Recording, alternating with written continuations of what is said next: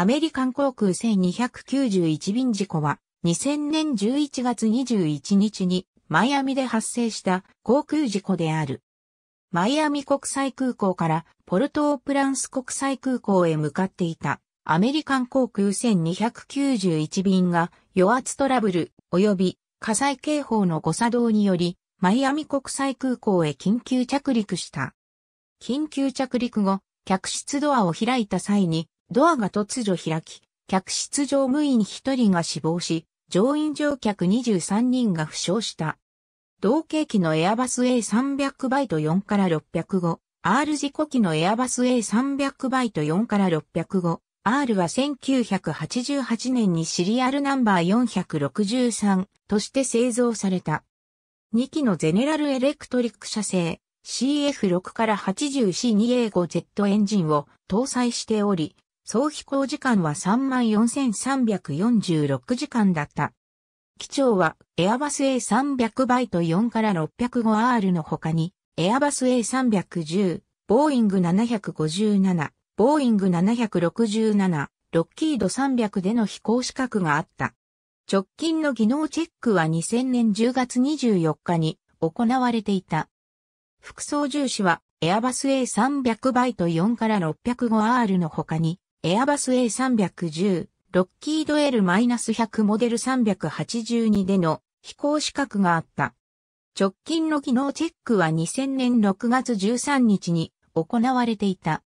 1291便はマイアミ国際空港からポルトープランス国際空港へ向かう国際定期旅客便だった。え11時49分、1291便はマイアミ国際空港を離陸した。11時56分、高度1万6000フィート付近で余圧装置にトラブルが生じた。パイロットはマイアミ管制に問題を報告し、1万フィートへの降下を開始した。この時、機長は余圧制御装置を手動に切り替えた。12時14分、パイロットは管制官に緊急事態を宣言し、火災警報が作動していることを知らせた。12時18分、1291便は、マイアミ国際空港の滑走路9リットルへ緊急着陸した。破損した L1 ドア着陸後、客室乗務員が機体中央部のトイレからゴムが焼けるような匂いがすると、機長に報告した。加えて、貨物室の火災警報が作動していたため、機長は緊急脱出を決定した。客室乗務員の34歳の男性が機体左前型のドアを開けようとしたがドアはなかなか開かなかった。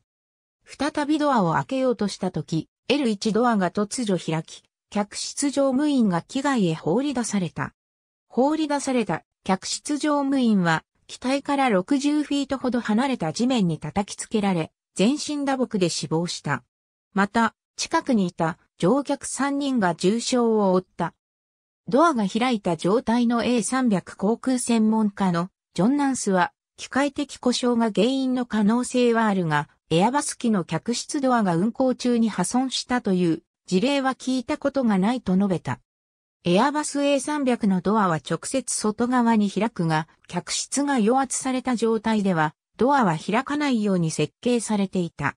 国家運輸安全委員会が調査を行った。事故の翌日、フライトデータレコーダーとコックピットボイスレコーダーがワシントンに送られた。調査から余圧に問題があると知ったパイロットは余圧制御を自動から手動に切り替えた。その後チェックリストを開始したが、すべての内容を実行してはいなかった。これは火災警報への対処を優先したためだと結論付けられた。また、機体後部にある余圧用のバルブを断熱材のブランケットが塞いでいたことが判明した。加えて、火災警報は、機内の圧力が変化したため作動したと結論付けられた。通常、機内は着陸後に余圧された状態から自動的に減圧されるが、1291便では余圧制御が手動に切り替わっていたため、減圧がされなかった。このことはマニュアルには記載されておらず、事故機のパイロットは知らなかった。